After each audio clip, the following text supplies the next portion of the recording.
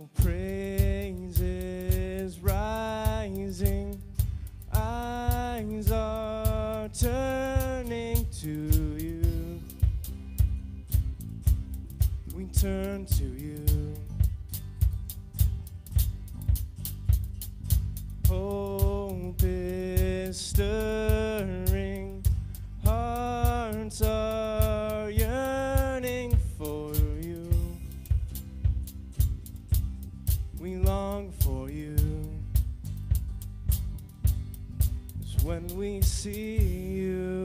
find strength to face the day. And in your presence, all our fears are washed away, washed away.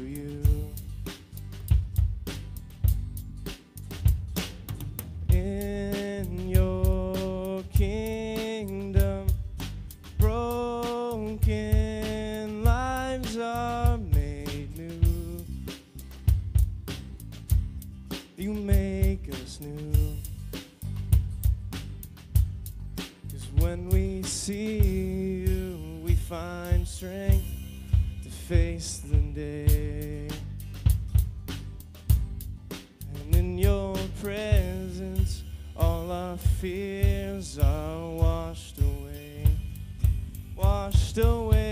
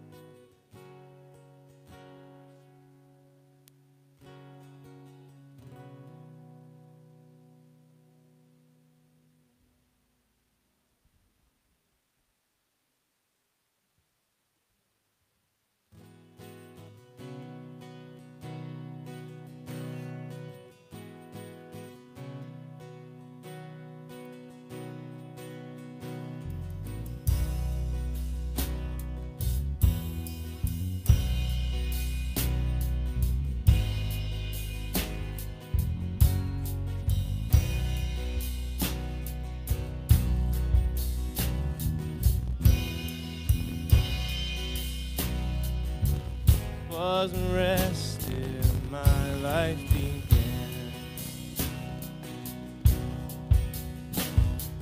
Ash was redeemed, only beauty remains. My orphan heart was given. My mourning grew quiet, my feet rose to dance. When death was arrested, life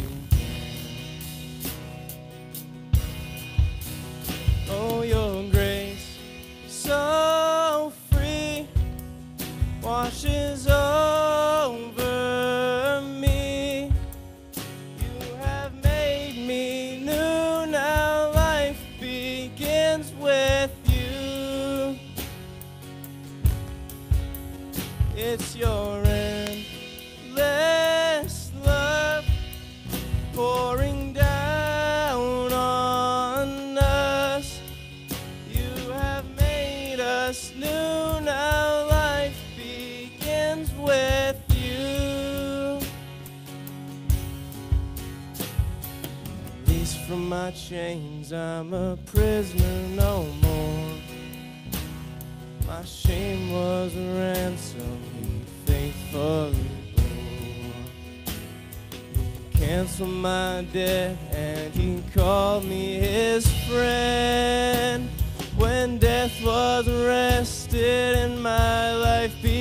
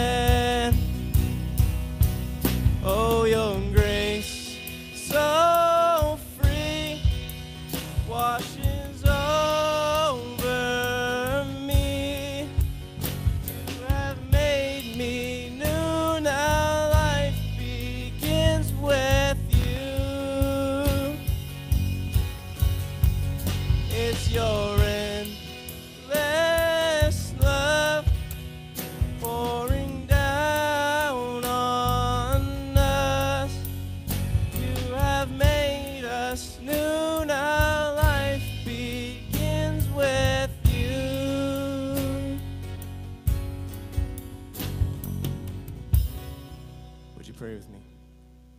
Dear God, we praise you that you're always there with us. And I pray that we would, when we leave here today, we would, leave with a heart to serve, a heart to do good in our communities, and we would read your word daily, that you would encourage us to read your word daily, that you would remind us who you really are and how much you really love us. In Jesus' name I pray. Amen.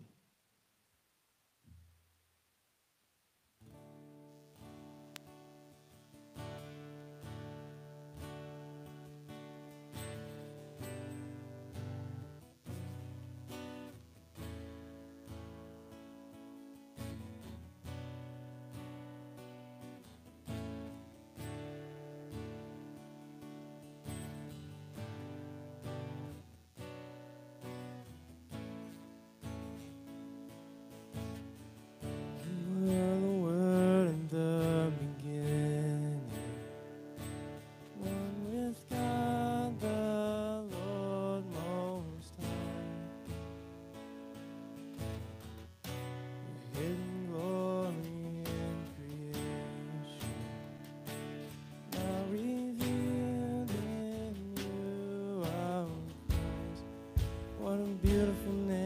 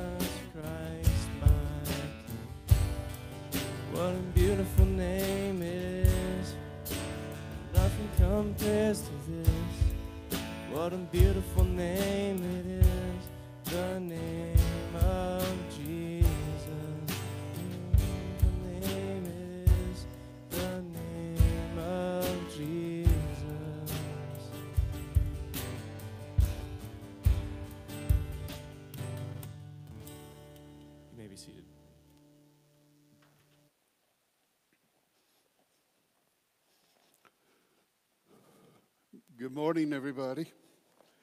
Would you turn in your Bibles to Matthew chapter 18, please? Matthew 18. If you indulge me for a moment, I'd like to share something with you.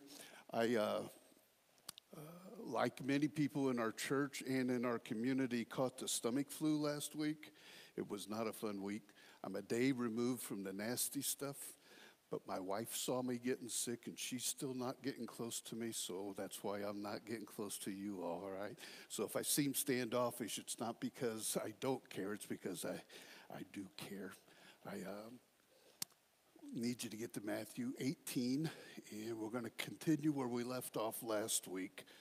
Um, been working in this series called Identifying Jesus. Today's Kingdom Relationships, Part 2. We opened Matthew 18 last week. I'm going to read the first four verses. At that time, the disciples came to Jesus and asked, Who's the greatest in the kingdom of heaven? And he called a little child and had him stand among them. And he said, I tell you the truth, unless you change and become like little children, you will never enter the kingdom of heaven. Therefore, whoever humbles himself like this child is the greatest in the kingdom of heaven. Without repeating a bunch of the message from last week, let me just say that Matthew makes a transition here from talking primarily about humility before God to love towards neighbor. Humility is the source of a right relationship with God, and it's a source of a right relationship with others. So, coming out of verse 4 into our passage today, verses 5 to 14, Jesus makes the same transition. If you've got your sermon outlines, you'll see in verses 5 through 9, our Lord teaches them and us about our actions towards what he calls the little ones. And in verses 10 to 14, about our attitude towards what he calls the little ones. First, number one on your sermon outlines, we have our action towards these. Pick up in verse 5, please. and whoever welcomes a little child like this in my name welcomes me. But if anyone causes one of these little ones who believe in me to sin, it would be better for him to have a large millstone hung around his neck and be drowned in the depths of the sea. Verse 7. Woe to the world because of the things that cause people to sin. Such things must come, but woe to the man through whom they come. If your hand or your foot causes you to sin, cut it off and throw it away. It's better for you to enter life maimed or crippled than to have two hands or two feet and be thrown into eternal fire. And if your eye causes you to sin, gouge it out and throw it away. It's better for you to enter life with one eye than to have two eyes and be thrown into the fire of hell. Our actions towards the little ones. Pretty graphic here, okay? We're using little ones instead of children because Jesus himself makes this, this shift in usage between verses 5 to 6. He starts in verse 5.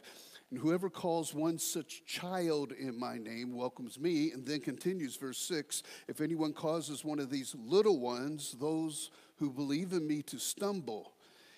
And he only uses the terms little ones from that point on. Now, we could just say it's a parallel, okay, that a child equals the same thing as little one, and that even seems to be the case in verses 5 to 6. But what follows in verses 7 to 14, we learned it. Jesus subtly shifts from talking about literal children to certain children of God, those he labels little ones. Now, with this usage, Jesus could mean everyone in the kingdom of heaven, regardless of age, or he could mean, as I think he means, the least of these my brothers, as he phrases it in Matthew 25 40. You remember? The king will reply, Truly, I tell you, whatever you did for one of these, one of the least of these brothers or sisters of mine, you did for me. That is, Little ones are those Christians who are most often marginalized or whom we'd be tempted to look down on because of lack of wealth or status or health or giftedness or spiritual maturity. They're the ones with little resources, little social standing, perhaps even little faith, such as the weaker brothers of Romans 14 and 1 Corinthians 8. They are those who are prone to wander like we see a little bit later in Matthew 18, verse 12. So then, to the point this morning regarding these little ones within the church, Jesus calls his, his church, especially the more mature, or shall we say less little, he calls us to action. And the primary action to which we are called here is not only to, verse 5, receive, you know, it's kind of like open a door and welcome these little ones in his name into our fellowship because Christ received such into his fellowship, but we are to protect them as well once they're in.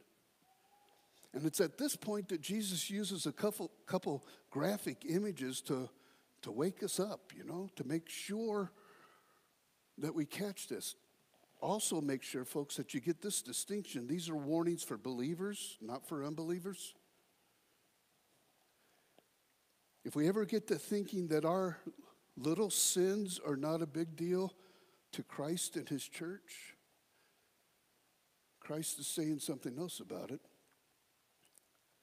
The two judgment images here involve fire and water. First, imagine being thrown into a pit that's on fire continuously, or Secondly, having a giant millstone, a two ton slab of circular stone so huge and heavy that it needs a donkey to move it, fastened around your neck. And then while wearing this concrete collar, you're taken out to the middle of the sea and left you left on your own and down you go and go and go. Milton called it the dark eternal grave or the black Gehenna in his classic work, Paradise Lost. Douglas O'Donnell writes Christian, your personal holiness matters. Look at verses 8 and 9, please. Look at that whole, the, the, that whole business about cutting off and gouging out stuff. Christian, your personal holiness matters. What we do privately with our hand, our foot, our eye actually can affect other believers. That's what Jesus is teaching here. How you see things, the eye, affects how others see. What you do, the hand, affects what others will do. And how you walk, the foot, affect how others will walk. You see, what we do to guard ourselves is also a means of guarding or protecting others around us, especially the little ones. Now, Jesus used the same kind of very hard graphic language earlier in the Sermon on the Mount concerning sexual sin, but here it's expanded to every realm that could cause another to stumble. So, Christian, I need to ask do you rush to judgment? Do you easily lose your temper? Do you gossip? Do you discount those considered unimportant? Do you think of yourself as so important? And how about that whole list of things that many would consider matters of conscience that often vary through the ages? Drinking, matter of dress or style, length of hair, tattoos or piercings, going to the movies or what movies you choose to go to, playing cards, playing Dungeons and Dragons. How long could the list be if we wanted to keep adding to it? I invite you to turn to this week's study questions or just spend some real time in passages such as Romans 14 and 1 Corinthians 8, if you want to see about what Scripture says about all of this, like where your rights extend and what about the other person causing them to stumble, that kind of thing. But this morning, I just want you to focus in on what Jesus is saying about others. If we're talking about just you, into verse 9, it's better to enter eternal life with only one eye than to have two eyes and be thrown into the fire of hell. Sin is serious stuff for you. But the woe is the man warning here is not directed towards your actions towards yourself, but to others. Look again at verse 7. Woe to the world because of the things that cause people to stumble. Such things must come, but woe to the person through whom they come. The New Living Translation has it this way What sorrow awaits the world because it tempts people to sin. Temptations are inevitable, but what sorrow awaits the person who does the tempting. Sin is serious business all the time, but when your sin endangers or influences the lives of the little, little ones, God would say to us,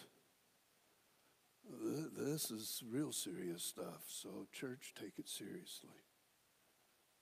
Let's also take seriously verses 10 to 14, where our Lord transitions from teaching about our actions towards the little ones to our attitude toward them verses 10 to 14.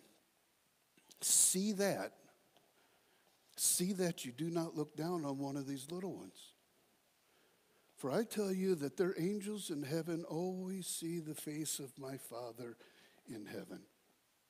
What do you think? If a man owns a hundred sheep and one of them wanders away, will he not leave the 99 on the hills and go look for the one that wandered off? And if he finds it, I tell you the truth, he is happier about that one sheep than, than about the 99 that did not wander off. In the same way, your Father in heaven's not willing that any of these little ones should be lost. Look again at the beginning of verse 10.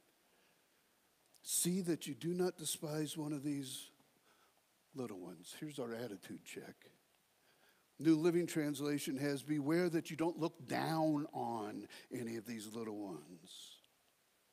Now, remember, we're not only talking about, or even primarily talking about literal little children at this point. We're talking about what the world sees as the least of these, the ones other people walk by that don't make eye contact with. Put yourself between them and your, and your little kids. In my, in my mind's eye, I automatically see the beggars, often diseased and maimed on the public streets and buses when my family was in Brazil. But it doesn't need to be that severe, right? What so often separates us here in our country, even in our churches? We've already mentioned a lack of wealth, status, health, giftedness, spiritual maturity. Can we put in race, education, marital status, age, maybe even in today's climate, political beliefs? Jesus say, says, See that you do not despise or look down on one of these little ones. So let's turn it around. Why should we value them? And to that question, Jesus gives one answer they matter much to God, and he gives two illustrations. The first illustration is about their angels. And I don't want to get in a prolonged discussion about whether each child, little one, or individual has their own guardian angel or angels. It Seems that they possibly do. Hebrews 1:14 are not all angels ministering spirits sent to serve those who will inherit salvation. That's not the point here. The point is if these beings, angels, who serve the little ones, they are their angels. If these beings are in heaven, and that's a pretty important place to be, and they're looking directly upon God, Seems like they have a pretty high order. Here we go. How much more valuable are the little ones they serve and protect? Does that make sense? If, if, the, if your bodyguards that are assigned to you are from the Secret Service, all right, you're somebody. And if your angel stands continually before the face of God, your stock has risen manyfold. See that you do not despise or look down on one of these little ones. Why should we value them? Because God Himself values these same ones. Second illustration of this divine value is the parable of the lost sheep. Here, our Lord says, verse 12, What do you think? If a man owns a hundred sheep and one of them wanders away, will he not leave the 99 on the hills and go look for the one?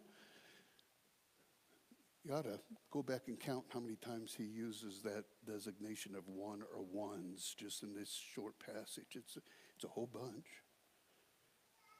And go look for the one that wandered off?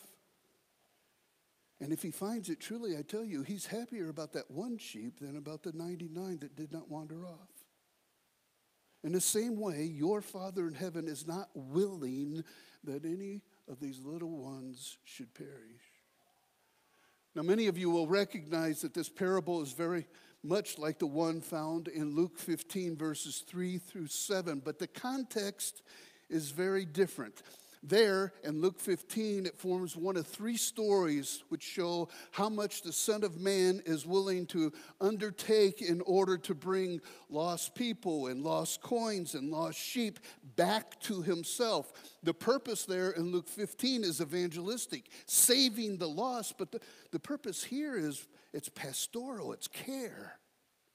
Jesus is talking to his disciples, those who are later to become leaders in the church. He's been telling them not to put stumbling blocks in the way of the apparently unimportant and to be, a writer by the name of Michael Green put it, and to be utterly ruthless with sinful tendencies in themselves because of how it affects others. And now Jesus encourages them to care for the lonely, the lost, the sick, the discouraged, the, the sheep without a shepherd, and God cares enormously for each one. Again, count how many times in our passage today he mentions one. And isn't it something that God Almighty would value, be mindful as one such as you or me to that degree? And remember that all of this, it's, it's leading to Jerusalem and the cross that Jesus bore for each of us. Recognize, don't, don't miss that even the statistically unimportant, one out of a hundred, what is that? Even that one is important to him. One matters. You matter so much to the Father that he sends out the shepherd, Jesus himself, on the ultimate search and rescue mission. It's only in that context that we understand, see that you do not despise one of these little ones. Jesus is is talking about our attitude in the face of those whom God both, val- both values and loves. Matthew Henry summarizes it by saying, Let not earth despise those whom heaven respects. We could simply say, in humility, we're to value each and every little one as God does. That's the primary point of the parable and of the passage verses 1 to 4 we went through last week. It's, it starts with humility before God. And that leads to the love of the least in attitude and action, verses 5 to 14. When we open up Matthew chapter 18 and ask, what is Jesus teaching us here? Because it, it goes all over, and some of it's pretty graphic. I think we find that humility is the source of both a right relationship with God and with others. And to bring this down and make it as, as actionable as I know how, I think what Jesus is saying that this relationship that's this way,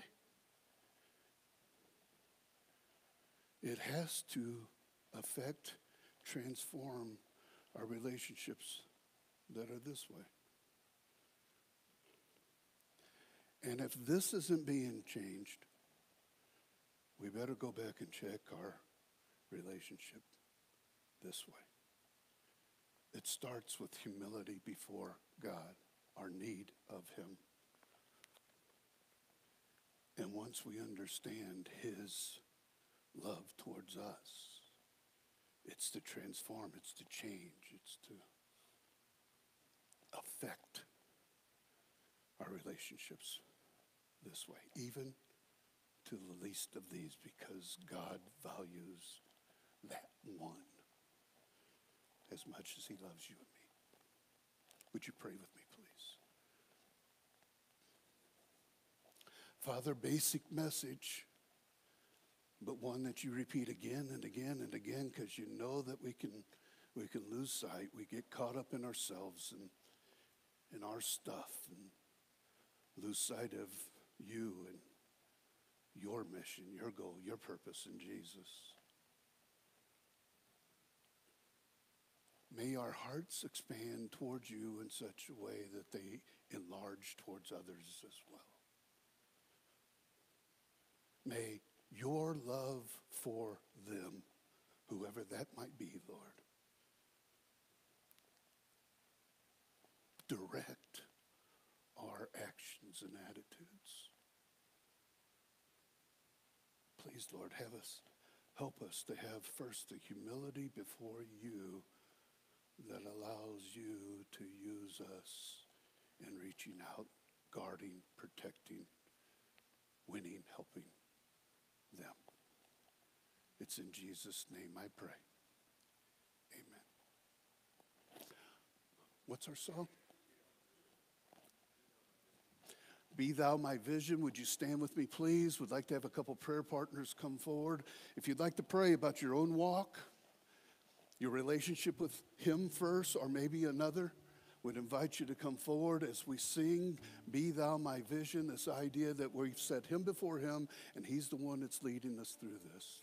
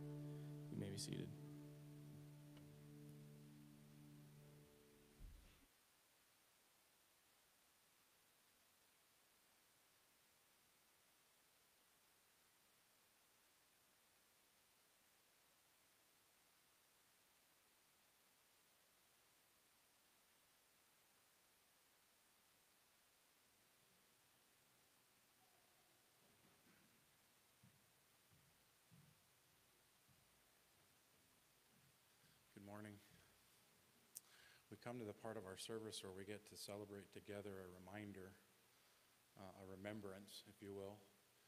Um, Jesus brought to his disciples to this upper room to have this meal together. Now, this was a common practice. Every year they'd practice this Passover meal together, right? It was a remembrance of an event in the past that helped root them in their, their history, their traditions, right? Reminding them of Egypt, reminding them of all of this past, all of this history that them as a community, them as a family have gone through and experienced together. And they use it as a teaching tool for the following generations. What better way for our Lord to, to, to reteach not only about himself, but reteach and set a new precedence as a family, as a community of, of believers, as, as a remembrance, as a reminder, as a setting a new trajectory, if you will. We have all these, we read the Bible and we have all these, these stories, and just like Rick taught today, sometimes they're not all about us, it's about the others, it's about how we fit together. And so we, we have this opportunity to come together to take these emblems and to remember not only who Jesus is, but also uniting the body in one, in one vision and one, one purpose and one mission, if you will. Um, if you pray with me and these guys can start passing the cups and we'll pray over our, over our, our communion table together. Lord, we just thank you so much for who you are. This table, this opportunity to be able to to remember who you are, to remember your love, to remember your grace, and to remember your mercy. But to remember also that you're calling us to a much bigger vision than just ourselves, a much bigger mission to, to love others and to share that grace and that mercy with others as well. Lord, thank you so much for your heart. It's in your name we pray these things.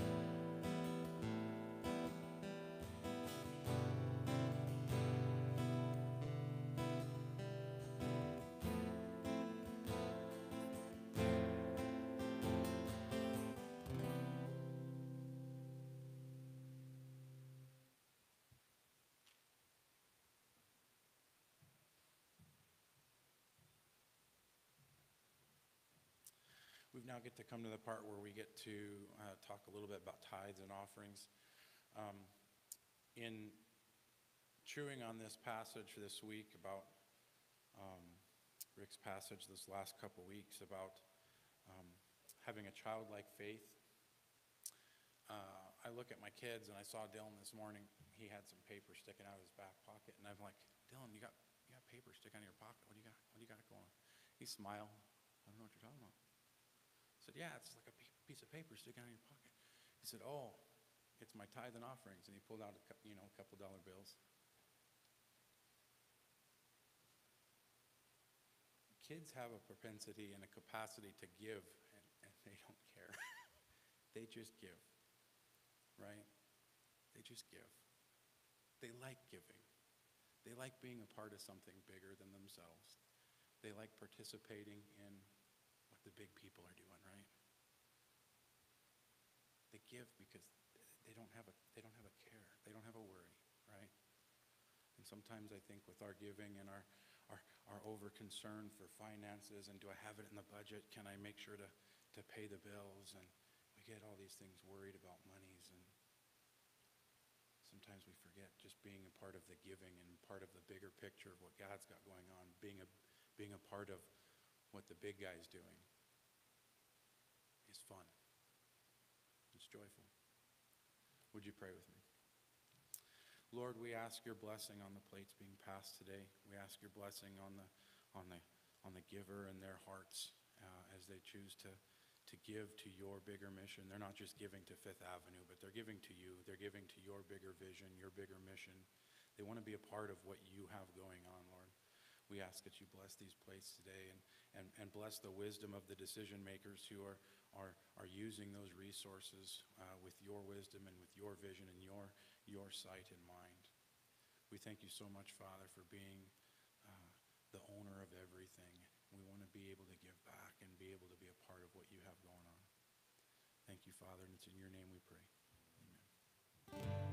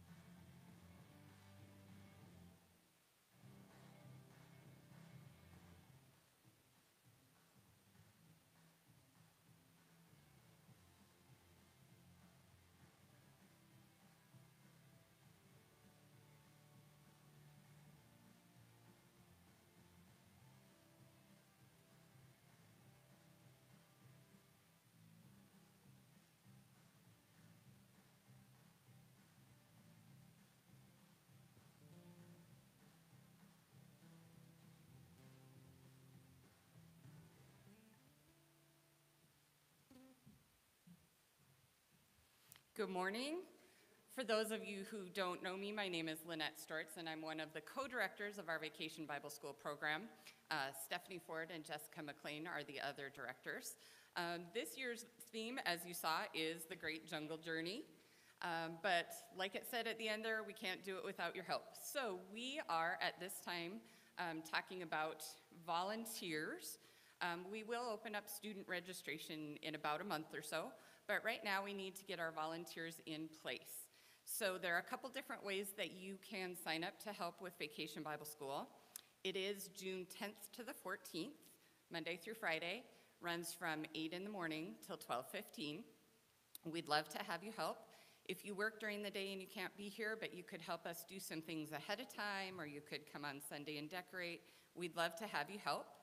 Uh, back at the check-in desk, Harvey is out there, and there are some cards. I know Matt showed these to you last week as well.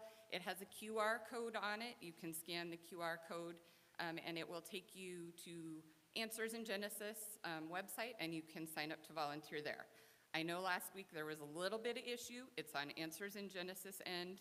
Their websites are a little overwhelmed because every church that is doing Answers in Genesis is getting ready for VBS. So if the QR code doesn't work, um, just keep trying. They are working on it on their end. You can also go to our church's website, fifthavenuechristian.com. There will be a little logo that has the Great Jungle Journey, and you can click on that. Same thing, sign up there. If you're a little more low tech, old school, out at the check in desk with Harvey, there are some pieces of paper. Please grab one of those, fill that out, let us know how you would like to help us, and we would love to have you there. It's a great week.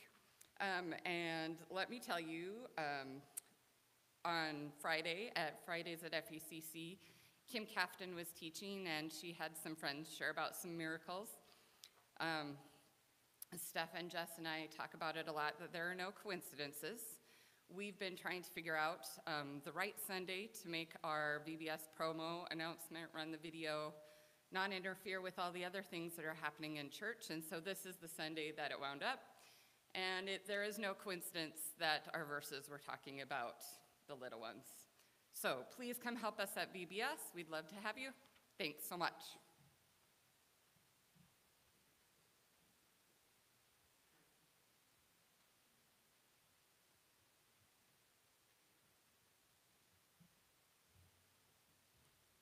There definitely are no coincidences that that is the Sunday that we do that on that announcement.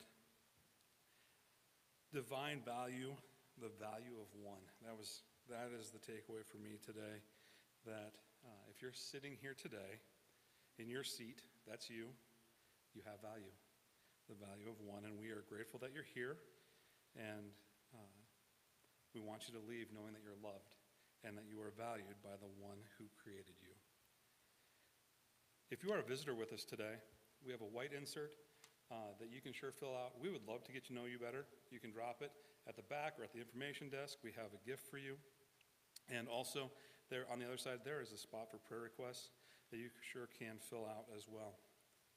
The bright green insert that's on the back of the notes that we took today, uh, there is a section here. The, the questions are really about my rights versus the weaker brother. And we would encourage you to dig into that this week. Uh, there are questions that should have arisen from today's message that these verses will help clarify. Finally, chili cook-off. I know you guys were waiting for this.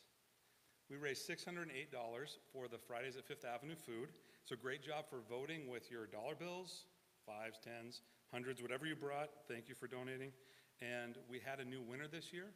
Is Charlie here? He's not here this service. Charlie ended up beating out Joe. And so, uh, great job to everyone who brought chilies. Thank you for that.